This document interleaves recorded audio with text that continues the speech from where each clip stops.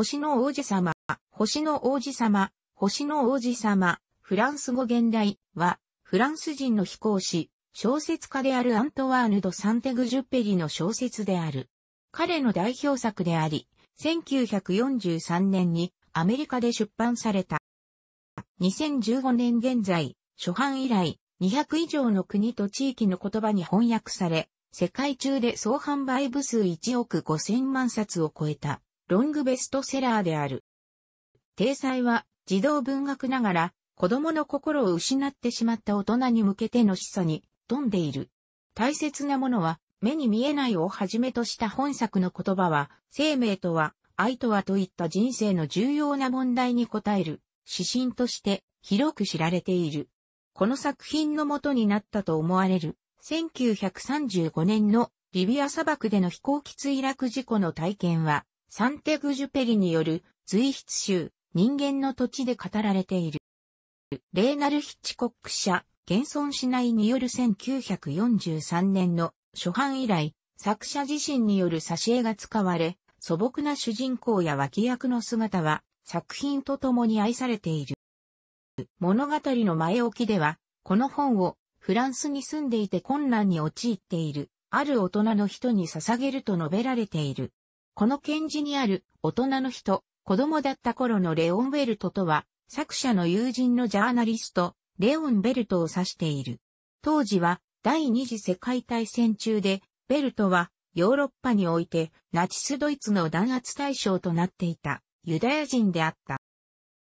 映画監督のオーソン・ウェルズも実写とアニメーションの融合による映画化を考えていたことがあり、アニメーション部分はディズニープロに依頼していたようであるが、実現はしなかった。慶応義塾大学助教授の片木聡年によると、日本における星の王子様ブームは2006年の時点で3回あったという。1回目は研究者らによる謎解き本が多数、出版された1980年代、2回目は、サンテグジュペリ生誕100周年の2000年前後、3回目は、数社から新訳が出版された2006年前後で10、数社で刊行された。これに対し、加藤春久が2007年に、書子浸水で、憂霊顔の星の王子様続出語訳のケーススタディと翻訳者のメチエを刊行し、内藤和家と新訳14冊を検証、強く批判している。またサンオサム社で2006年に注釈、自分で訳す星の王子様を刊行している。操縦士の僕はサハラ砂漠に不時着する。一週間分の水しかなく、周囲千マイル以内に誰もいないであろう孤独で不安な夜を過ごした僕は翌日一人の少年と出会う。話すうちに少年がある小惑星からやってきた王子であることを僕は知る。王子の星は家ほどの大きさで、そこには三つの火山と根を張って星を裂いてしまうほど、巨大になるバオバブの目と、よその星からやってきた種から咲いた一輪のバラの花があった。王子はバラの花を美しいと思い、大切に世話していた。しかし、ある日バラの花と喧嘩したことをきっかけに、他の星の世界を見に行くために旅に出る。王子は他の小惑星をいくつか訪れるが、そこで出会うのはといった、どこかへんてこな大人ばかりだった。数字は番目の星として登場する順番。6番目の星にいた地理学者の勧めを受けて、王子は7番目の星、地球へと向かう。地球の砂漠に降り立った王子は、まず蛇に出会う。その後、王子は高い火山を見、数千本のバラの群生に出会う。自分の星を愛し、自分の小惑星の火山とバラの花を愛おしく、特別に思っていた王子は、自分の星のものよりずっと高い山、自分の星のバラよりずっとたくさんのバラを見つけて、自分の愛した小惑星、火山、バラは、ありふれた、つまらないものであったのかと思い、泣く。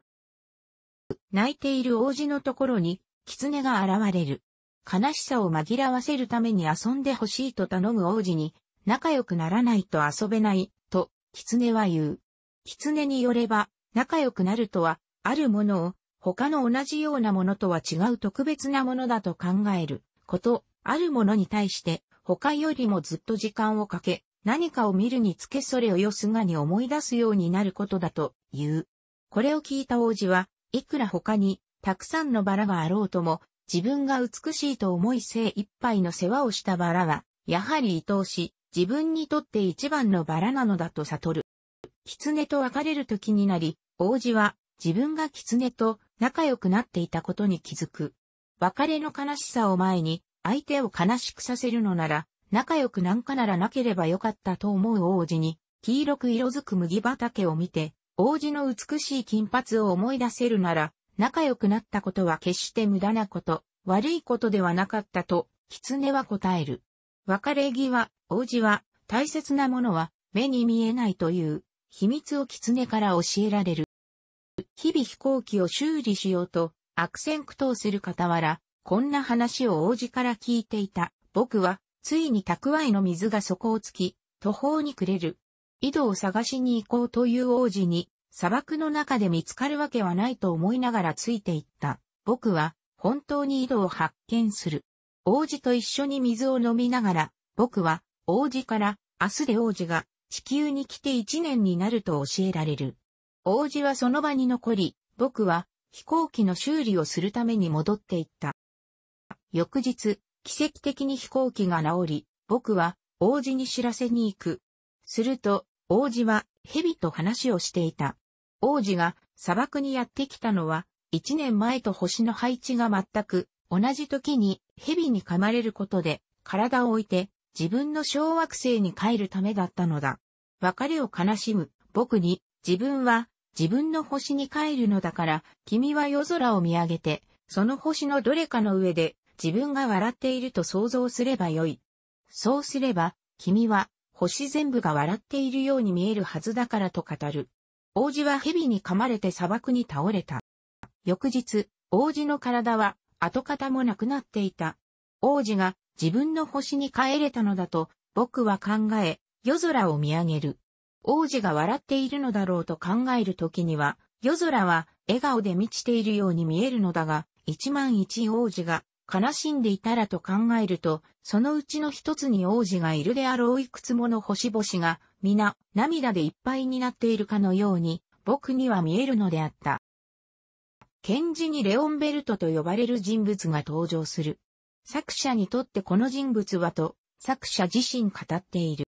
このレオンベルトは実在の人物である。ベルトは3イコールテグジュベリよりも22歳年上で、1931年、頃を知り合い、互いに無二の親友となった。ジャーナリスト、作家、批評家といった仕事をし、第一次世界大戦の経験から熱烈な平和主義者だったが、ユダヤ人であったため、ナチスによる弾圧を避け、フランス東部のジュラ県、サンタムールにあった別荘に隠れ住んでいた。この本の初版には、サンテグジュペリ自身の筆になる挿絵が大小47点描かれている。原画は失われたと長らく信じられてきたが、2006年4月に原画発見の方が走った。積み重なる像の原画をパリのある古書店が売りに出したのである。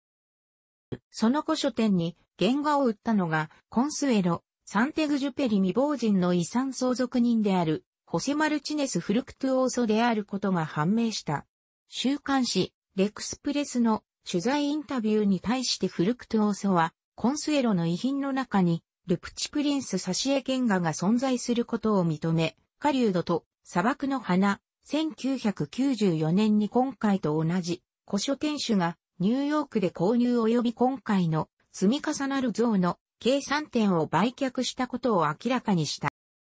フルクトゥオーソは2006年にフランスの館で開かれたコンセーロ遺品店に渡り鳥にぶら下がって旅立つプリンスと蛇と話しする塀の上のプリンスの2点を出品した。以上5点がフルクトゥオーソが認めたルプチプリンス挿絵原画であって、残りは未公開である。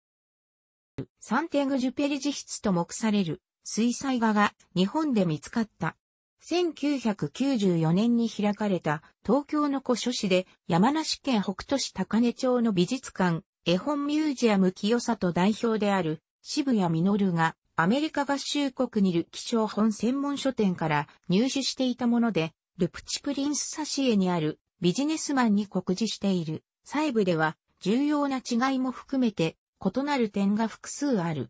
2007年4月に6点目の挿絵源が発見と報道され、国内5都市を巡回開催されたサンテグジュペリの星の王子様展に出品展示された。サイズはおおよそ A4 パンのオニオンスキンペーパーで、それを収めた厚紙製の枠にはサンテグジュペリのサインがあり、編集者による指示書き、初版本の掲載ページ番号が絵の裏側に書かれてるとされる。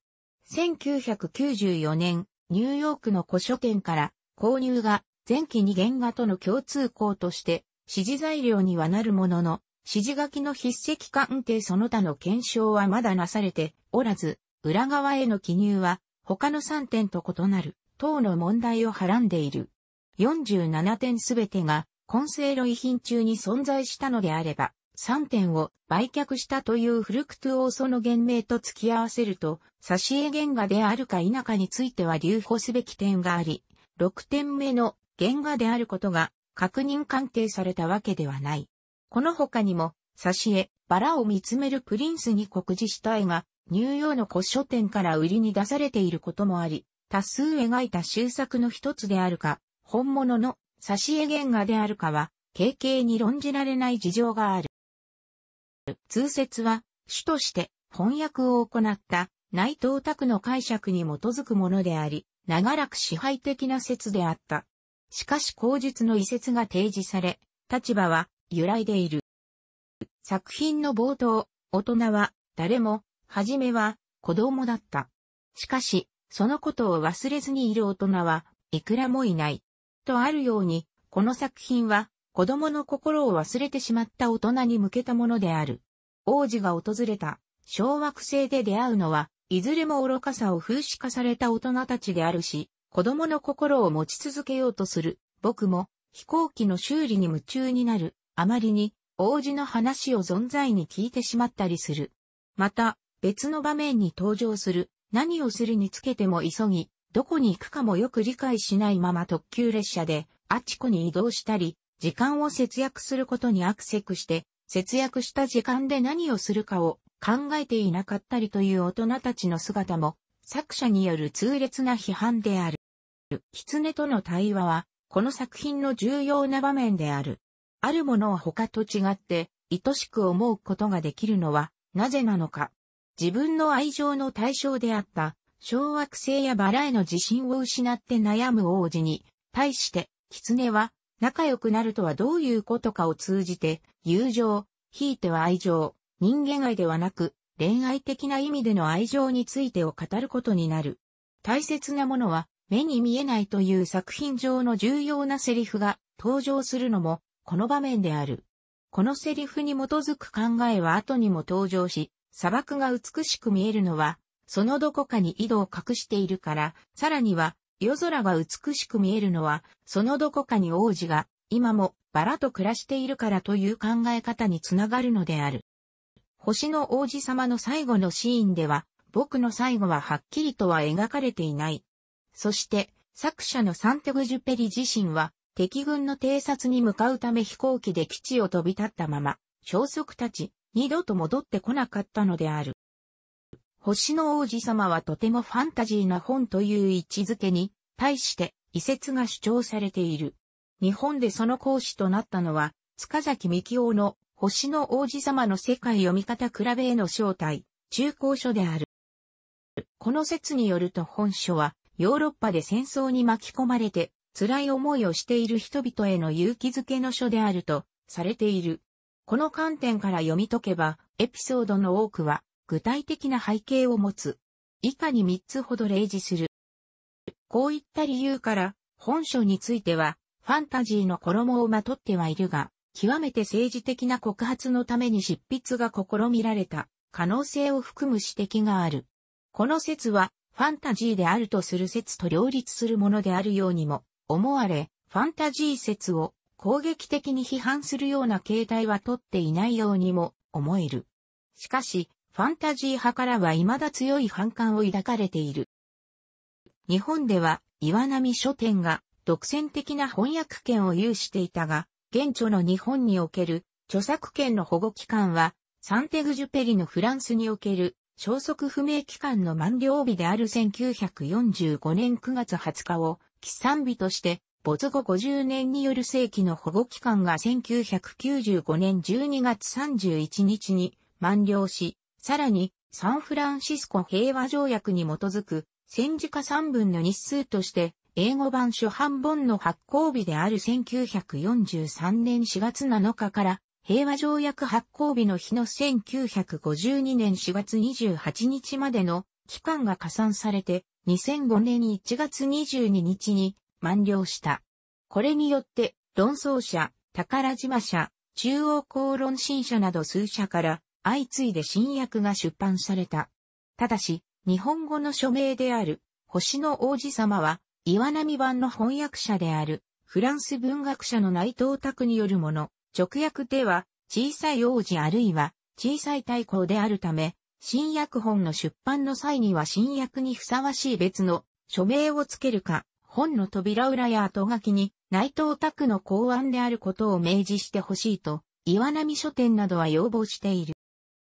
フランスをはじめ EU 加盟国の著作権保護機関は個人の死後70年であり、死亡宣告で1944年没と認定されたサンテグジュペリの保護期間満了は通例では2014年であるが、サンテグジュペリはフランス著作権法第123条の10における愛国殉職者の認定を受けているため、フランス国内では2044年まで著作権が存続する予定である。著作権の保護期間を世界最長の死後100年と定めているメキシコでも、フランスと同様に2044年まで、アメリカ合衆国では1978年のベルヌ条約加盟以前に、旧法下で保護期間を満了しなかった著物に対する特例に基づき、死後95年、または公表後120年のどちらか短い方の前者が適用され2039年まで著作権が存続する予定。カナダやニュージーランドでは1994年末に保護期間を満了し、パブリックドメインとなっている。上日のように、日本では岩波書店が長らく作品の翻訳権を有していたが、2005年1月に翻訳出版権が消失したので、新訳が多く出版された。1943年に最初の英語版がキャサリン・ウッズによる翻訳で出版されて以来、多くの英訳版が出版されている。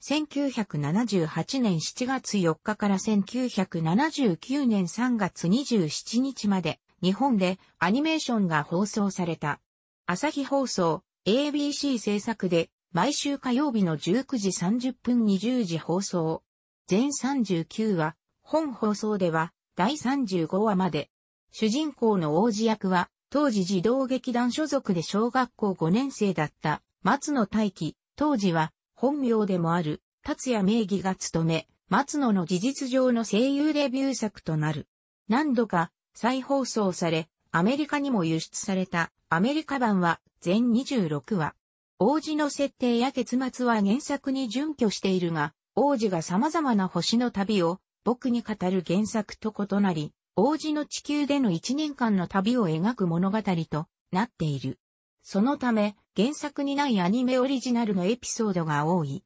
1978年度第3回文化庁、子供向けテレビ用優秀映画賞受賞。提供は、キッコーマン一社単独。1998年には、BS2 の衛星アニメ劇場にて、火曜18時30分から再放送された。冒頭の挨拶文は字幕テロップとともに以下の通り放送された。オープニングテーマが終わった後、舞台となった星からフレームインする形でピュアナチュラル、ピュアナチュラルの略、P&N のロゴを映し、その後、ズームダウンして、キッコーマンの当時の企業姿勢。という字幕を出しながら矢島が提供クレジット、ピュアナチュラル。キッコーマンは食生活に失われがちな純粋なもの、自然なものを大切にしてきました。味の世界を豊かに広げるキッコーマンがお送りしますと述べていた。鈴木はフレーベル館が運営するコーラスグループフレーベル少年合唱団のメンバー時代に、ソロでテーマソングを吹き込んだ。現在も OB 会などがある時にゲスト出演することがある。オープニング映像は再放送用の素材が一種類しか現存していないらしく、作画監督などの表記がすべて今新之助名義になっている。本放送用のオープニング映像は最後の部分が提供用として少し差しが長くなっている。これは DVD の映像特典で確認できる。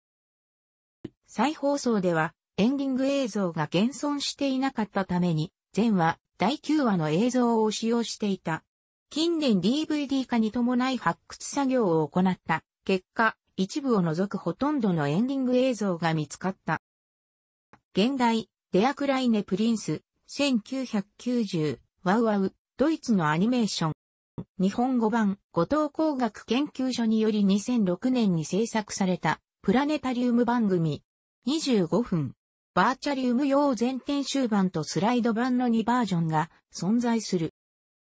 主要キャスト、2010年にメソッドアニメーションにより制作された全52話の 3DCG アニメ。同年12月にフランス産で初めて放送。主題歌はヤニック・ノア、音楽はフレデリック・タルゴーン、ケルン WDR 交響楽団の演奏であった。